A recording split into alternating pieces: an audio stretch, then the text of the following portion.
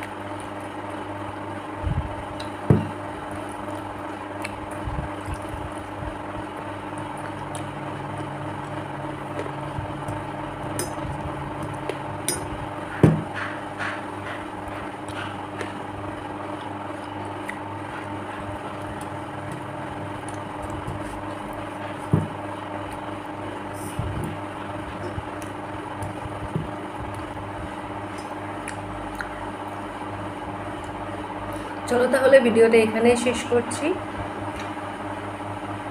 দেখা হবে পরের দিন অন্য একটা ভিডিও নিয়ে। Thank you tata.